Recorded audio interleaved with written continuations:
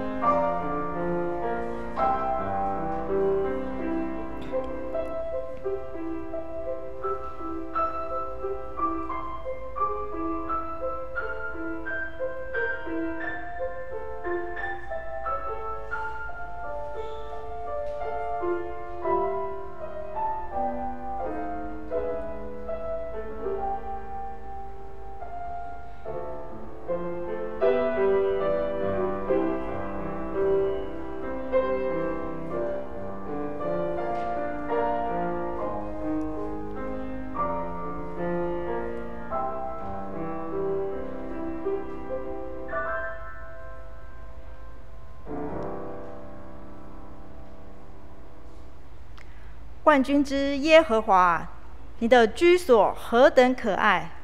我羡慕可想耶和华的愿语。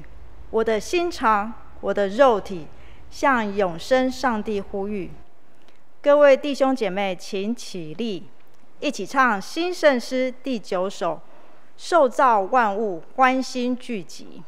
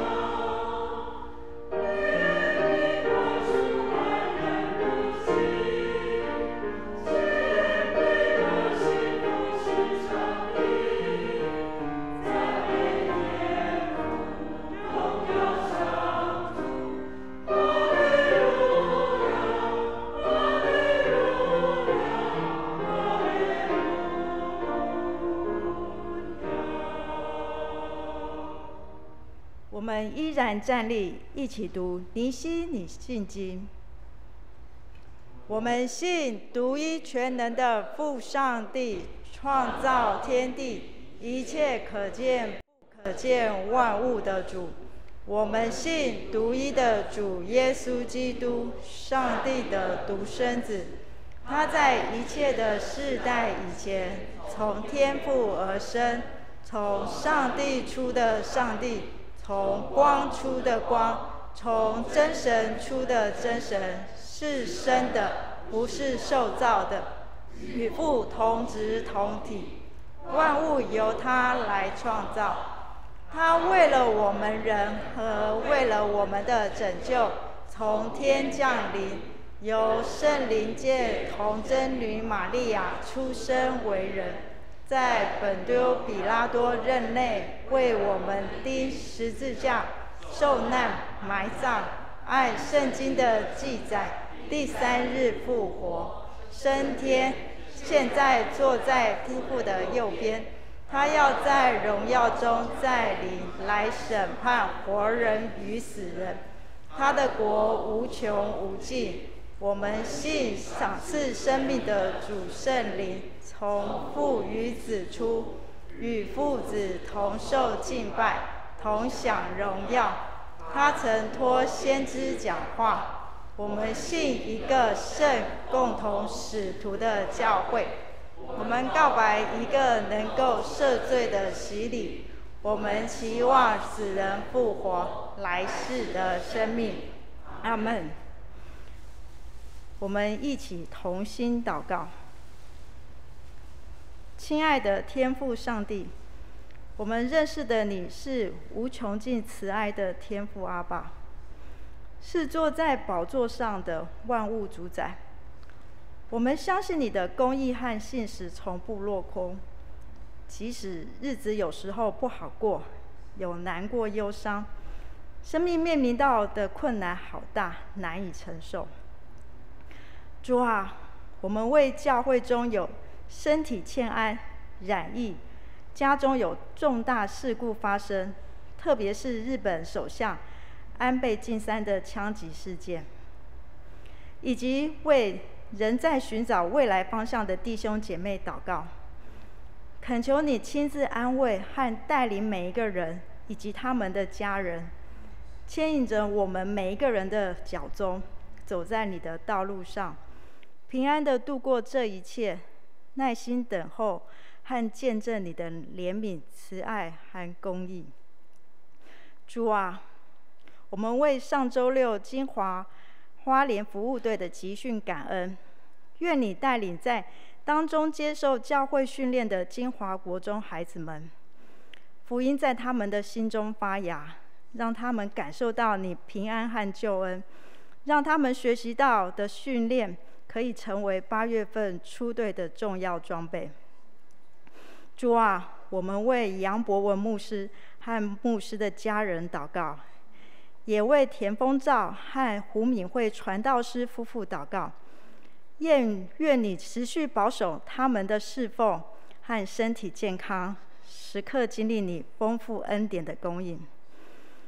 主啊，我们认识的你是温柔的阿爸天父，你的恩典难以细数，你是随时的帮助。虽然有苦与痛，你的冠冕为我们存留。我们要成就你极重和极深的永恒荣耀而活，一切都在你的手中。我们这样祈求和祷告，都是靠主耶稣基督的名求。阿门。弟兄姐妹，请坐。起印，起印文三十九，由我来起，大家来印。在将来的日子，圣殿坐落的山。刚要伫立在群山之上，万国要蜂拥而来，许多民族要聚拢前来说：“来吧，我们一起到山上主的山，他会指引我们该走的道路。”我们要在上主的教训从耶路撒冷发出。上主要解决国际间的纠纷。他们要把刀剑铸成犁头。国际间不再有战争。雅各的后代啊，来吧！让我们依照上主所示的亮光行走。献乐，这是天赋世界。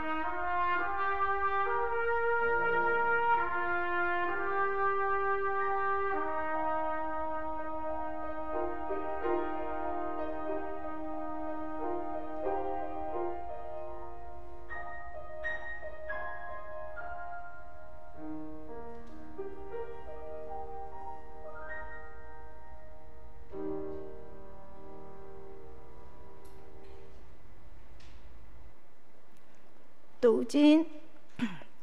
今天要攻读三处的经文：马太福音第三章第二节、第四章第十七节以及第六章第十节。由我为大家来攻读。马太福音第三章第二节：你们要悔改，因为天国近了。第四章第十七节：从那时候，耶稣开始宣讲说：你们要悔改。因为天国近了。第六章第十节，愿你的国降临。今天蔡文伦牧师要正道的题目是“愿你的国降临”。时间交给刘伦牧师。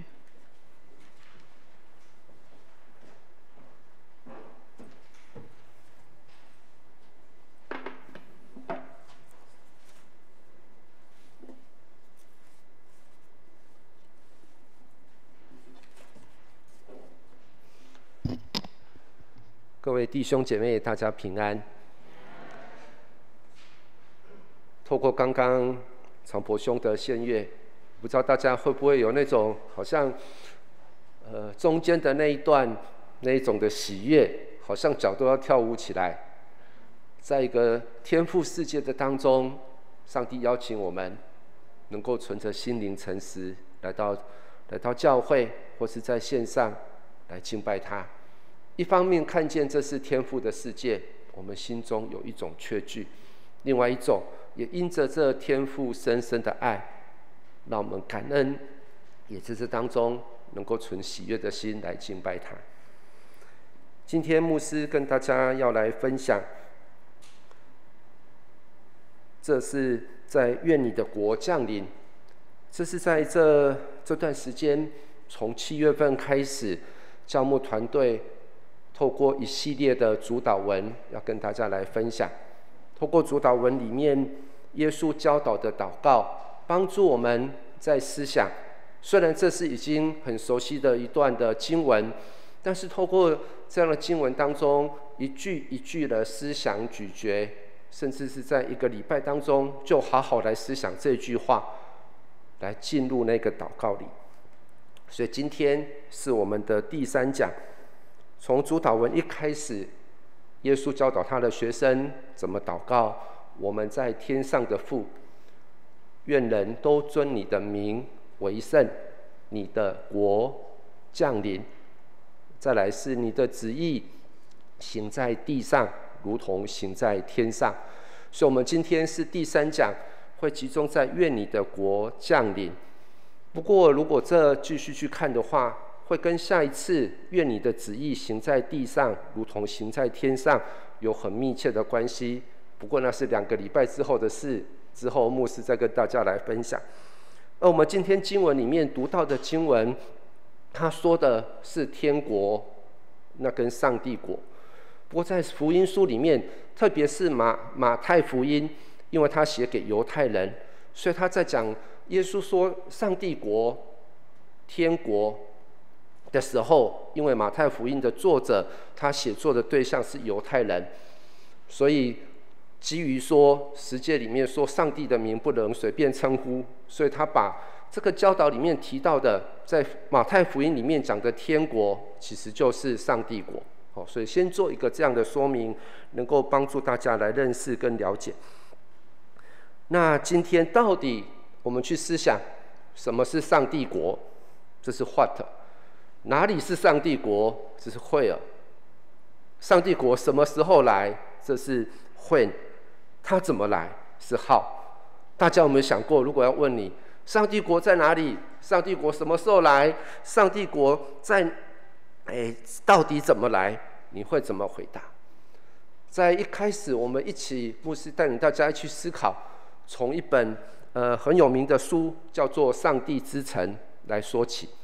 这一本是在早期的呃早期的教父里面有一个几乎可以说是集大成的，叫做奥古斯丁，呃，他所他所写的，他是一位在北非一个叫 Hippo 的地方的一个主教，他在那里虽然对整个罗马帝国来说，北非是一个比较偏僻的地方，那他也不是那里的很大的都市。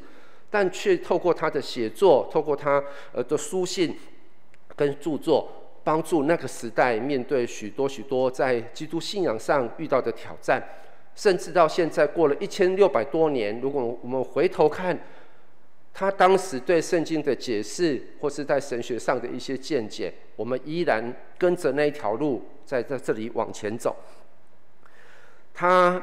在那个时候花了十四年的时间写了这一本《上帝之城》，原因是什么？是因为他他所在的那个时代，那时候罗马帝国已经已经变成是一个国教，大家在在在这当中，但是那个罗马城却被蛮族给攻占，就是有发生了这样事情，所以呢，就有些当当事人就就会说，哇，是不是因为？我们国家信了基督，然后改变了这个信仰，以至于得罪了许多以前的神明，所以才会发生这样的事。所以奥这奥古斯丁就从这个角度来出发，他用这样的概念，有个上帝之城跟地上之城，他分别论述在上帝之城、地上之城它的起源、它的过程跟它的结果。也在这个当中看来要论述说，不是这个原因，而是在这当中，他指出哦，他所那些罗马的这些的以前敬拜的这个多神有多么的有许多东西不合理。但同时，他这个时候，他在这本差不多中文看起来差不多九百五十页的这么厚的一个书了里面，他也去论述。后面那段他提起上帝之城，他将旧约到新约的整个的上帝救恩的历史一个一个的论述，从透过他在建构、在发展基督教的历史观，最后是上帝之城完全的得胜。但是在当中很多的部分，他其实提到是在当时的基督徒面对的是在两个城当中的一种征战跟冲突。活在上帝之城跟地上之城的中间，是一个实际的状况。我们从奥古斯丁他所提出来的这种架构来看，什么是上帝国，或是基督徒活在一个什么样的世代里？虽然离奥古斯丁，呃，到现在已经超过一千六百年了，但是我们其实依然可以感受到，我们依然活在这种张力跟冲突的当中。牧师要大家想想看，在主导文的当中，我们提到“愿你的国降临”的时候，你心里在祷告什么事情？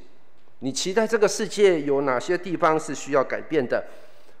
是期待我们说“愿主你的国降临”的时候，期待我们能够恢复跟上帝、跟人、跟大自然那一个好像伊甸园里那种。和和乐的美好关系吗？是我刚刚说的天赋世界的美好，还是我们祷告愿你的国降临，期待这个世界上没有贫穷，大家能够互相的帮助？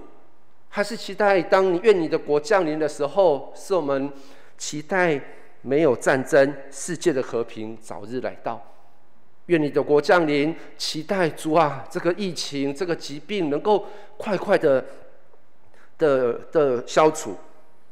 还是说，我们祷告，期待每个教会能够健康，能够成为光，成为盐，在不同的地方，在那里来成为上帝的见证人。愿你的国降临，我们会期待，是不是教会当中那个传扬福音到世界的各个地方，让许多都没有听过福音的人能够听见？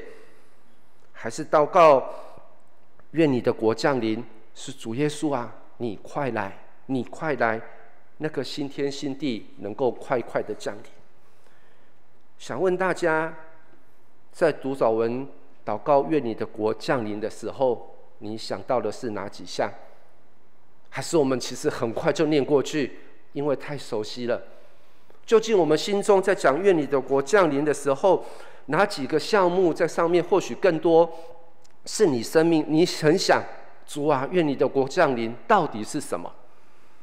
但会不会我们会有这种渴望，是会看见在这世上、地上我们所在的这个世界里，有些事情我们真的不满意，我们真的觉得这不是人应该要活在这样的世界当中，以至于我们期待、我们祷告，因为这个世界遭受许多的战争、贫穷、疾病，还有不公义的事情，在我们周围发生，在远方发生，而且继续在发生，以至于我们心中那么深切的渴望，主啊，愿你的国降临，不是吗？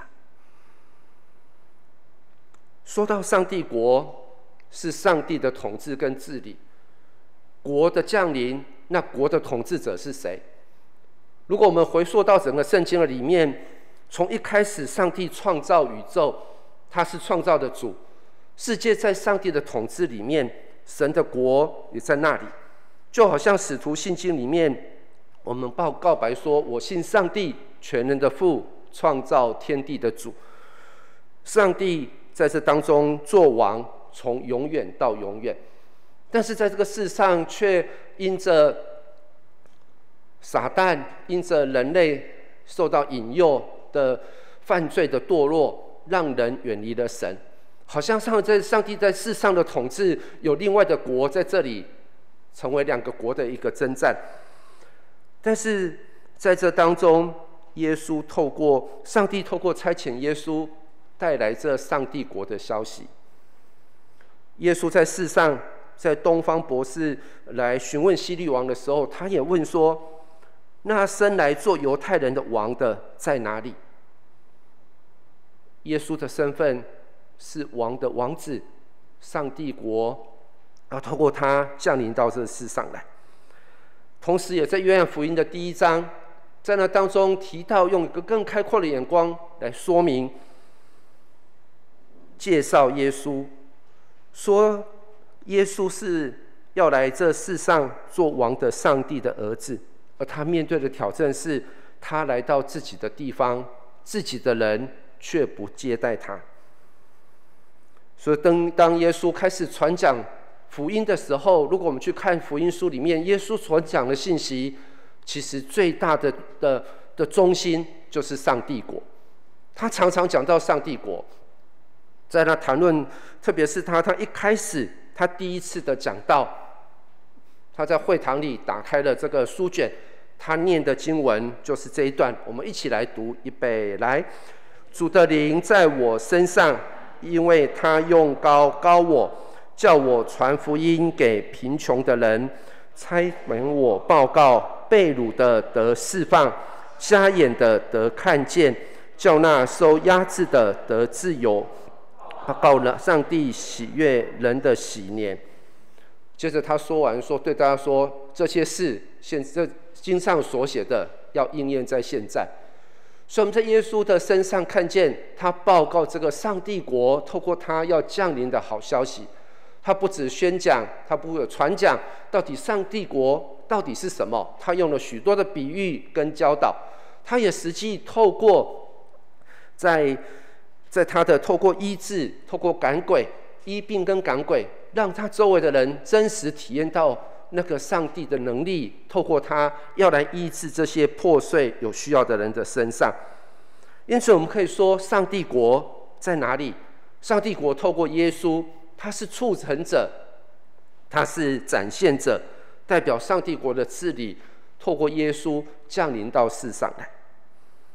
当然，当上当耶稣越来越传讲。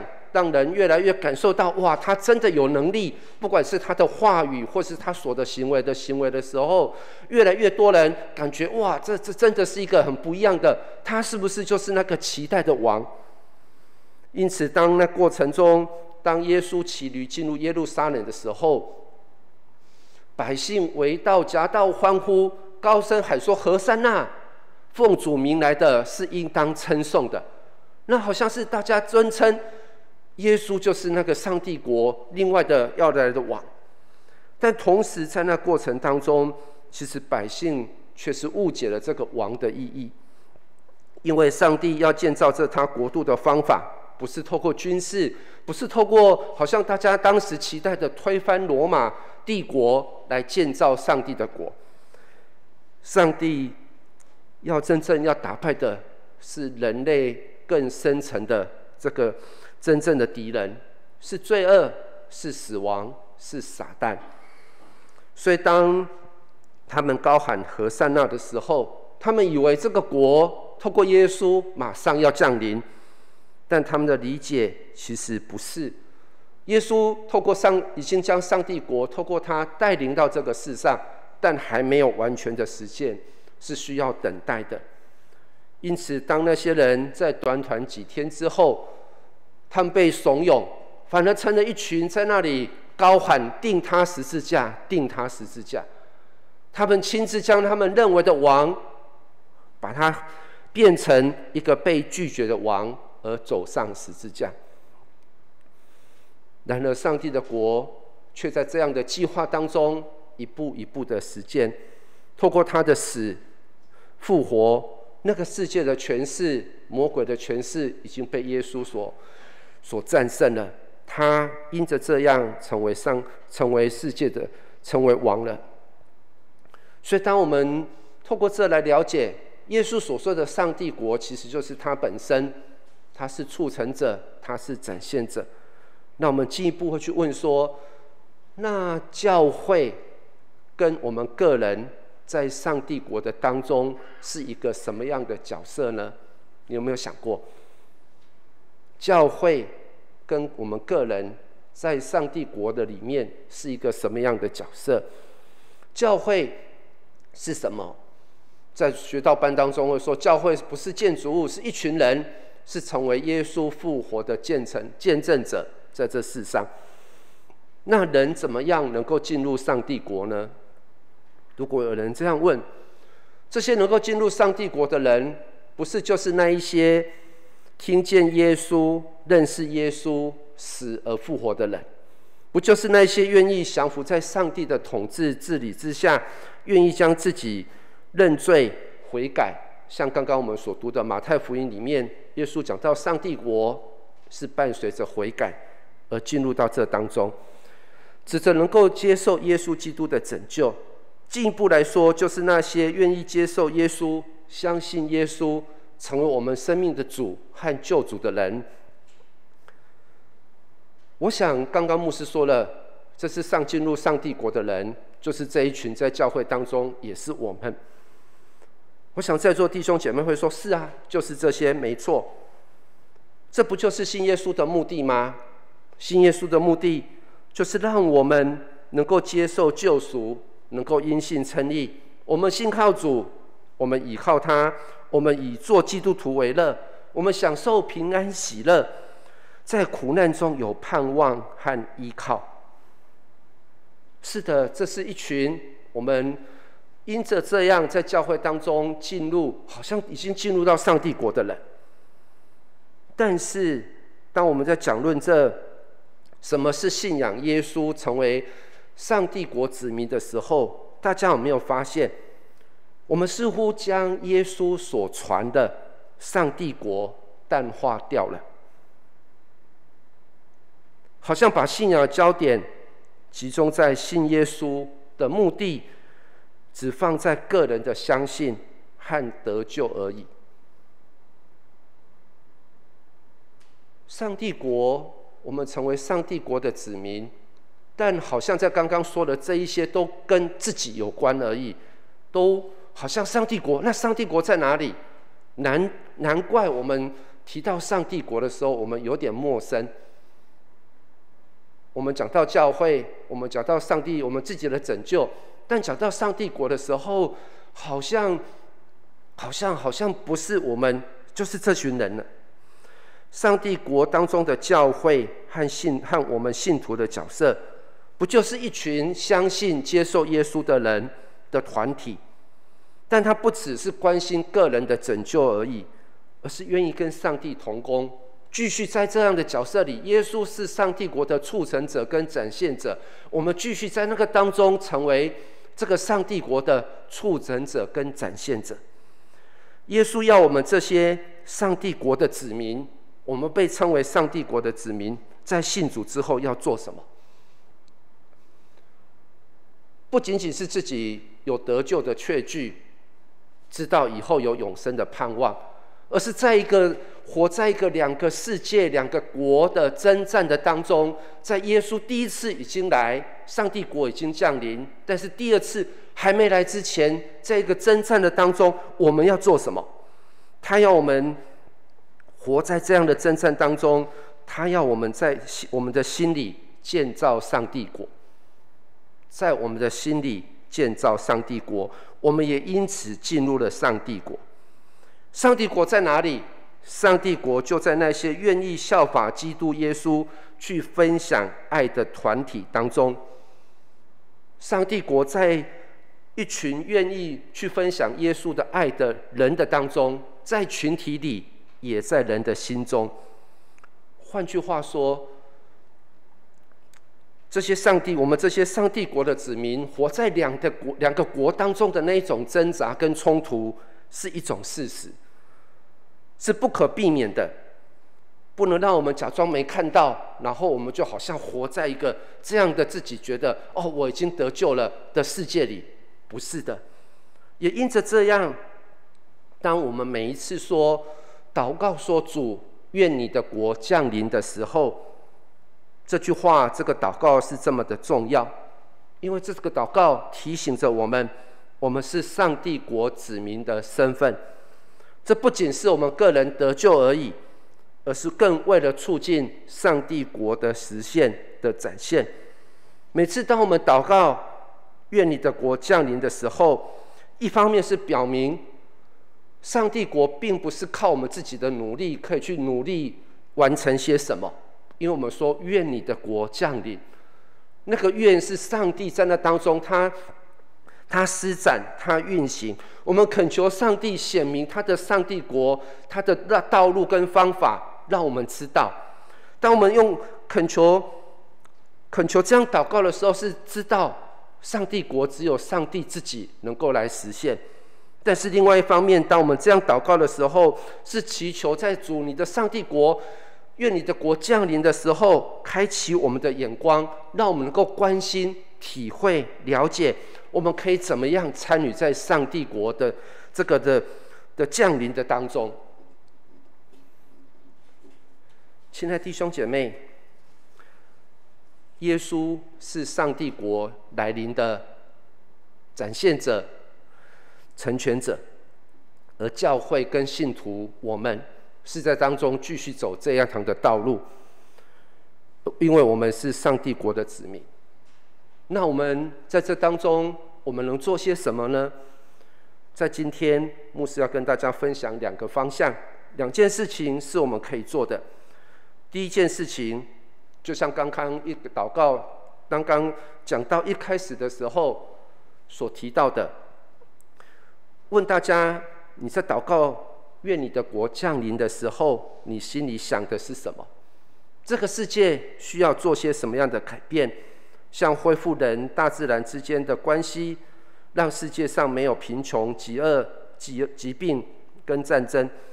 但这些往往是我们因为看见这个世界是相反的，这个世界是残酷的，这个世界是邪恶的，是让人家心痛的。然而，耶稣多次讲到上帝国就在人的心里，他的来到。是从一些日常生活的细微的地方开始成就他那个不平凡的国度，不是因为我们能够做了哪些改变这个世界有多大，而是当我们开始为你的国降临来祷告的时候，每次我们用主啊，愿你的国降临的时候来祷告的时候，主就开启我们的心。主就展开我们的视野，主就让我们对我们所关爱的人事物那个范围更扩大，是从上帝的眼光来看待这个世界那些需要被改变的地方。我们说主啊，愿你的国降临。先透过这样的一个祷告，让我们的心也因着这样被改变，这是我们能够做的第一件事情。第二件事情，我把它称为从小确信到小确信。我的翻译不是很好，很准。小确信到小确信，小确信是指的是什么？有定义是说，很微小但是很确切的幸福，像些什么？小到你可能有一天下午跟一个很好的朋友到一个地方喝着下午茶、喝咖啡，彼此分享，哇，这是小确幸。或是再大一点，哇，准备一个出国的轻旅行，哇，好期待疫情结束的时候我们可以去哪里，不用戴口罩，然后很高兴，那是小确幸。是的，在当中，小确幸，一个作者叫日本的作者村上春树，他曾说，如果没有这种巧确性，人生只不像，只不过像干巴巴的那个沙漠而已。他说需要。透过小确幸提醒我们重新去体会生活当中的许多点点滴滴微小的美好，帮助我们来经历那种平凡但是却又很美好的时刻，那是人生。特别是在这种好像外在的环境、经济不景气、各种疫情、各种事情的时候，哇，能够珍惜、能够做的啊，不就是这些小小的事情？至少有这些。让我们的心好过一点。是的，对基督徒来说，我们也需要有这种生命中体会到的美好。但在这里提的是，除了这个小确幸以外，我们有小确幸，那是什么？话提的，如果同样这样的定义来说，就是留心去发掘，在这个生命当中有一些东西是微小。却确实的信仰的经历，能够去发现，原来上帝国在一些细微的地方，它已经渐渐的降临。它就在我们的生活的某一些部分里，我们去看见，上帝正透过日常生活的点点滴滴，渐渐渐渐的在成就他不平凡的事。小确幸是为着我们自己，小确幸。是因着用一种眼光，从上帝国降临的眼光，去发现我们生命当中一些这些这些的地点。我举例像些什么？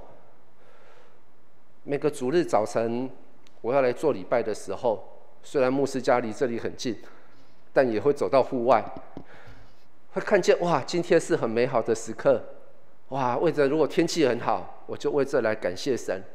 是一个美好的时刻，我们要准备来敬拜你。这是天赋的世界。他说：“牧师，那天天气很不好，哇我会感谢上帝。虽然天气很不好，但是我求上帝保守，让每一位来到教会的弟兄姐妹，能够平平安安的准备自己的心过来。当我来到教会，坐在那里的时候，我会做一个祷告。我不知道今天有谁会跟牧师谈话。”或是在这前面的祷告，或是就是在路在教会某个场地场合的时候见面几句话交谈，我求神帮助我在那些谈话的当中，能够认真的聆听，为他的关心而为他来祷告跟感谢。或是在礼拜天刚开始的时候，那些的公祷的事项是礼拜四祷告会里面看的周报里写的，在那十分钟当十分钟当中。开阔我们的眼光，看见原来上帝的国降临，不仅仅是在这个礼拜堂当中我们的聚集，为世界祷告，为台湾祷告，为其他的传道人祷告，为许多的事情来祷告。主愿你的国降临。而那样的事情，我也在每次的学道学道班那些要受洗的弟弟兄姐妹当中。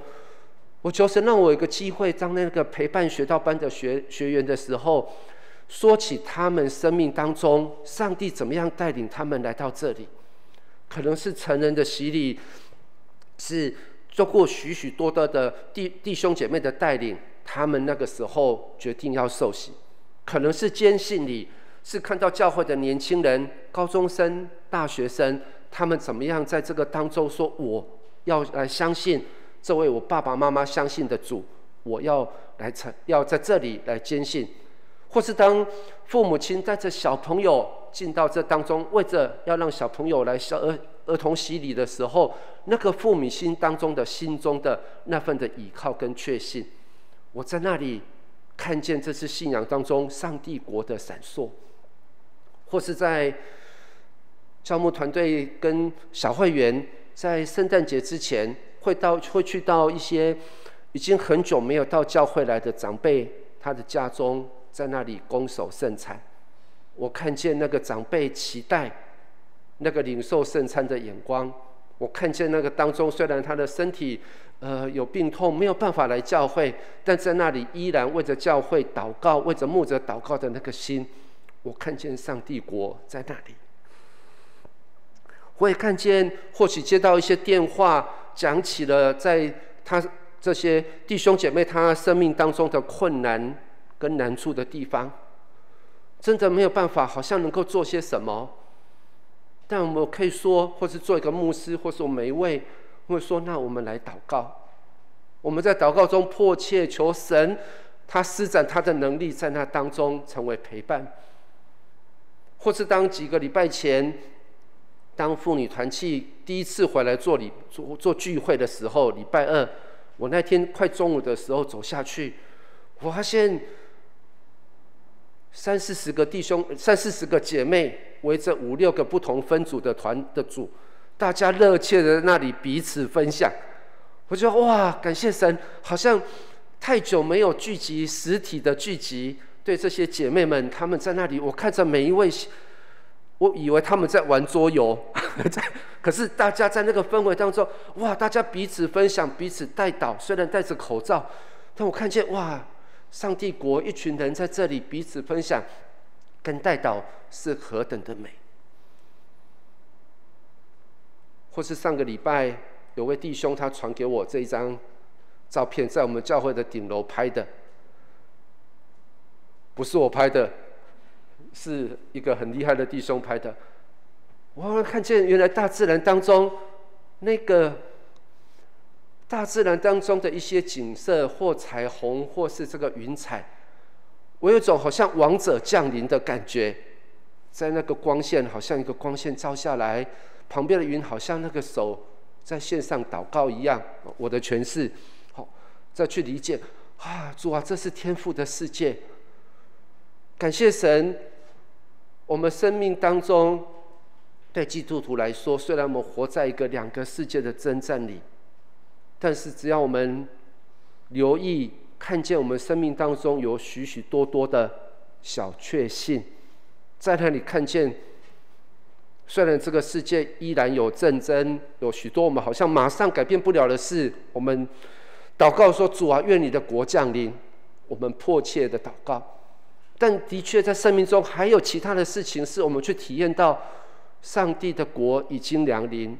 他在那里用一些记号，用一些时时空的时候，我们真实感受到神你的国在这个地方已经降临。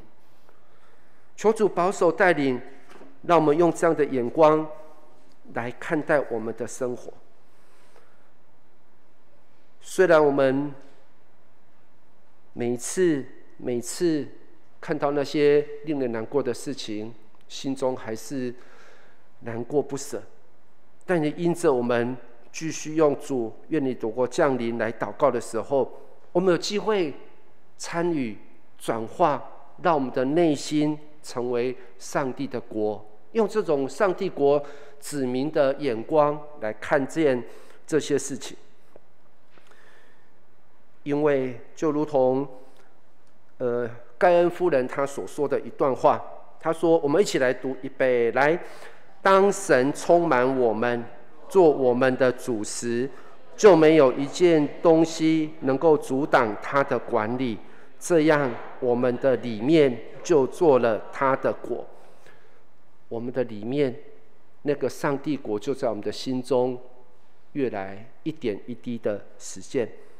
亲爱的弟兄姐妹。”你愿意你的心透过这样的祷告，越来越成为上帝的国吗？默想跟行动有两件事。你是否常常在祷告当中提到主啊，愿你的国降临？试试看，用天国子民、上帝国子民的眼光来祷告看看。第二，在未来的这个礼拜里。留意你生命当中、生活当中的小确幸。牧师刚刚举了一些例子，你可以试着，或是试着试着去行出这几个小一些的小确幸，并感受这给你的领受和体会。愿主保守带领每一位已经领受上帝恩典、上帝国的子民，让上帝国越多降临在我们的生命当中，在我们的心里，在我们的周围。阿门吗？我们同心来祷告。亲爱的天父，我们感谢你，这是天父世界，你的爱充满在这当中。是的，主，我们已经领受了这美好的恩典跟爱。你要我们用这样的眼光，求主你扩展我们的眼光，让我们的心看见上帝你的国正降临，让我们看见我们被邀请，透过祷告，透过。一些的参与，更多看见主，你改变我们，也有份在上帝国的实现里。谢谢神，愿你的国降临，是耶稣教导我们的祷告。愿这祷告成为我们常常常常思想跟祷告当中来经历，我们有份在上帝的国里。感谢主，祷告奉主耶稣基督的圣名，阿门。请我们起立，一起来唱这一首《为这片土地，我诚心祷告》。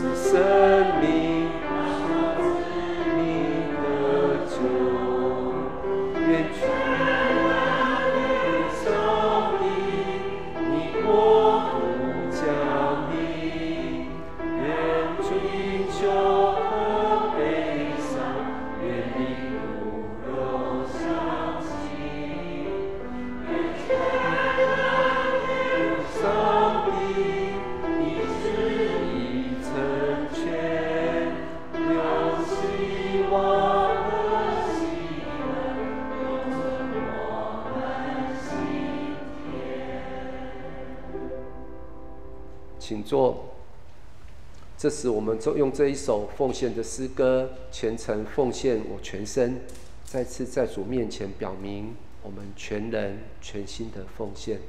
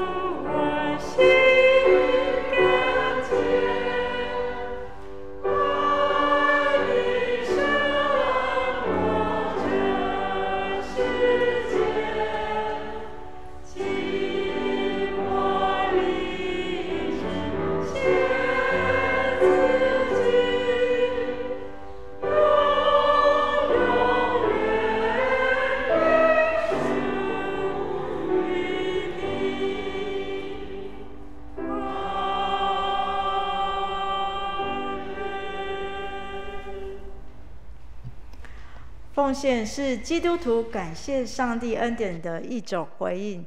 出于甘心乐意的人将经历他丰富的赏赐。奉献箱放置于三楼和一楼的接待处。哎，台湾行动支付 APP 资讯也在这个 QR code 或置于奉献箱旁。消息报告：八月十四日要受洗跟转籍的弟兄姐妹，请预备心向办公室的俊宏干事报名。呃，相关的学洗礼学道班，还有见证稿，还有一些相关的一些日期，请大家留意。教会二零二二年的乐活读经手册，呃，下半年已经印制，请与请在一楼的招待处领取。马可福音的圣经抄录活动预计在七月三十一前收件截止。啊，已预抄录十个章节以上弟兄姐妹，已可以把这些相关的抄录的呃资料交给办公室，教会会在整理后在九月份展出与大家分享。司马县有教会建堂的义卖活动，嘿，那司马县部落啊。仙部落希望有一个安全的空间可以聚会，所以他们要重建一个地方，所以他们推出了一个 CP 值超高的义卖商品，希望借由这个义卖可以筹措他们的建堂基金。哎，那他们的产品有雾中岛系列果酱，还有在地农产等。那详细请。大家可以扫 QR code，呃，于七月二十四号礼拜天之前上网订购，而且要缴费完成，或者是打电话到办公室登记。教会在七月二十四号下午一点半在五楼礼拜堂有一个宣道讲座，讲员为翁瑞亨以及蔡淑任。宣教师夫妇林中先传道以及啊李金基牧师夫妇，他们讲到题目是舒适圈外的冒险，与他一起跨文化宣讲。呃，假如无法到场呃听讲座，也可以欢迎在线上观看直播。啊，那请大家把这个时间留下来。好，我们恭喜张伯全博士，不，不是，哎，呃，他有，他有，不是，哎，硕士，哎，他获得他的硕士学历，刚报完他的 final。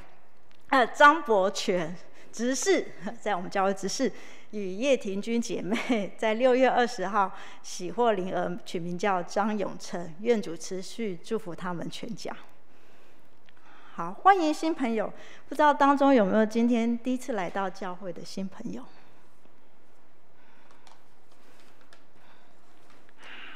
好，那我们彼此拱手，来与大家彼此请安。好，好，弟兄姐妹，请起立，一起唱新圣诗第三百九十二首，赞美上帝万福之源。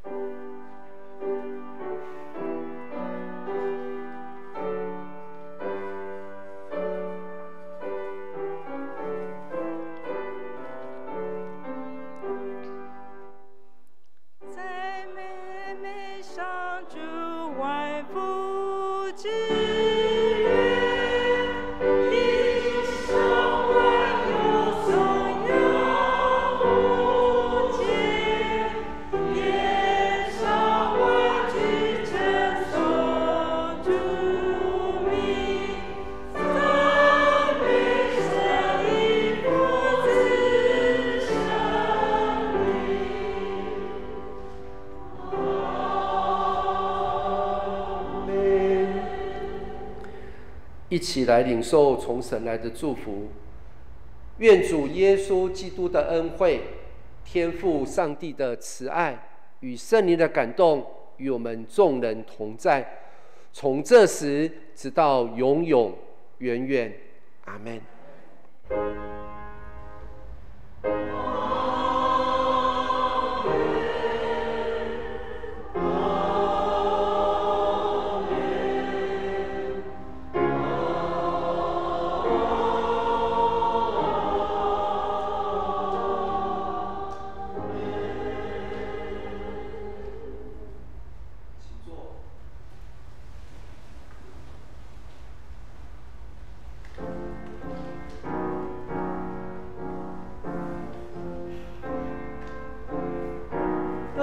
需要，礼拜后也可以到台前，我们的牧长愿意与你一起祷告。哎，也欢迎弟兄姐妹可以留下，等一下的祷告时光中安静亲近神。